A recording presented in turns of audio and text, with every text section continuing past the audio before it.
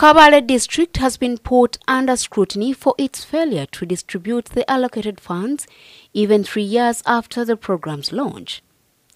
The disbursement event took place at Kabale Municipal Stadium in the presence of Godfrey Nyakahuma, the Kabale Resident District Commissioner who represented the chief guest David Bahati, the State Minister for Trade, Industries and Cooperatives.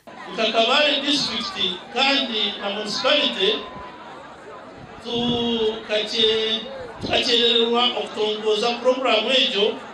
konka tukaba turenda ngu tubanze ebintu bingi okugira ngu Hundreds of people had gathered at the stadium eagerly awaiting confirmation messages that they would benefit from the program on its first day of disbursement.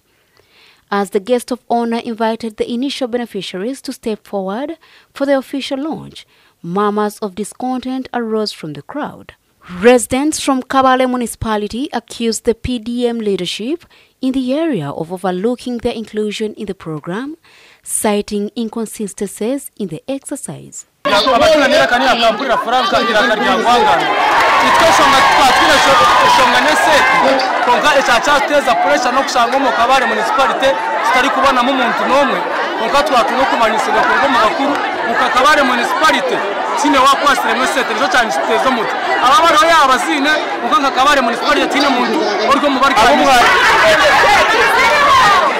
aba bakaba ni babacyabana cyabana kugira kubatisha batasayinire abo bari kwereka nibo bakubanza kubenefitinga kuba batari kubatwereka bakaguma baratucangacanga esente museveni akazitanga tukore mutuyambe kwine famire zo kurebera tulipuwa mutuyambe tukore Sentalo Byamugisha, the mayor for Kabale municipality, joined the residents in demanding an explanation for their exclusion from the program.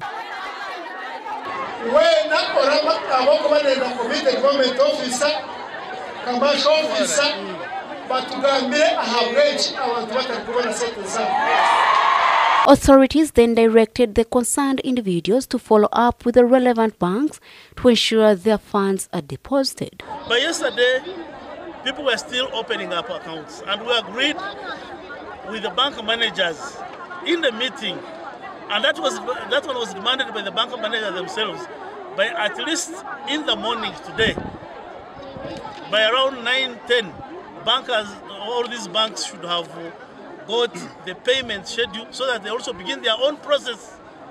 Nyakahuma and Byamugisha acknowledged that the preparation for the event was lacking and that the technical staff within the district and municipality were responsible for the oversight. They expressed their disappointment at the embarrassing situation. the, the, the district leadership and the municipality leadership, I thought uh, that meeting was, was supposed to harmonize the operations of today. That's why you're finding with the district, they moved, they implemented all the resolutions that were passed in the meeting of yesterday. Now, up to now, uh, the commercial officer of the municipality is not giving explanation why he, uh, he, he submitted payment schedule to the banks late. By press time, authorities had hurriedly contacted the various commercial banks to rectify the issue that caused this challenge.